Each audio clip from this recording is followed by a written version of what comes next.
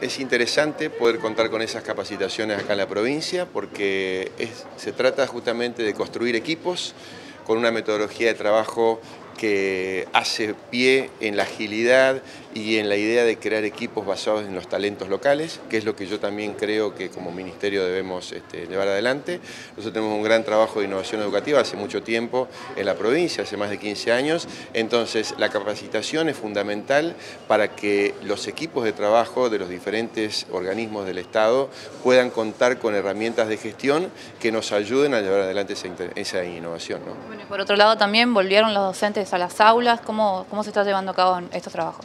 Muy bien, estamos muy contentos, obviamente. Ayer se abrieron las, escuelas, todas las escuelas abiertas, con los docentes trabajando. Yo estuve recorriendo escuelas de acá, de, Apóstoles, eh, de Garupá, entre ayer y hoy, y la verdad que toda la actividad normal, eh, no hay ningún tipo de inconveniente, los chicos están rindiendo este, sus, materias, eh, hay planificaciones, eh, con la mejor este, perspectiva de iniciar tranquilamente el día lunes las clases. Esta semana nos vamos a reunir con los gremios nuevamente en mesa paritaria para terminar lo que habíamos empezado el día 13 de febrero, que habíamos nos habíamos comprometido a volver a juntarnos después de paritaria nacional.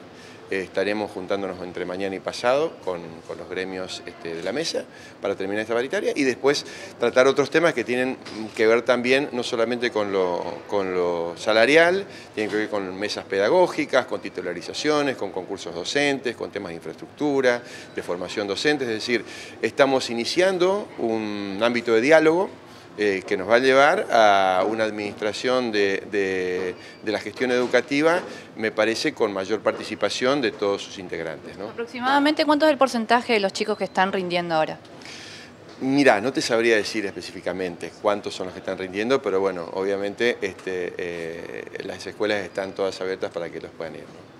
Ministro, usted anunció también la exportación que vamos a tener sensores en Dubái. ¿Puede comentarnos los avances? Eh, sí, sí. Eh, Fan IoT es una empresa del Estado provincial mm, que se inició para crear una fábrica de nanosensores IoT, que son los que se utilizan en Internet de las Cosas. Tenemos un contrato para ejecutar con la Agencia Espacial Dubai T eh, y la idea es que para el mes de junio tengamos la primera exportación, entre junio y julio, de los productos de acá de la provincia, que van a ser asesora que van a decir hecho en Misiones, y bueno, van a estar en Dubái y de ahí van a ir a Marte. Así que este, para nosotros va a ser una gran satisfacción porque va a ser tanto idea como producción de la provincia. Eh, creo que ese es el camino, es el camino de la economía del conocimiento, crear oportunidades para nuestros jóvenes eh, egresados de nuestro sistema educativo que puedan tener trabajos de alta tecnología y de alta calidad.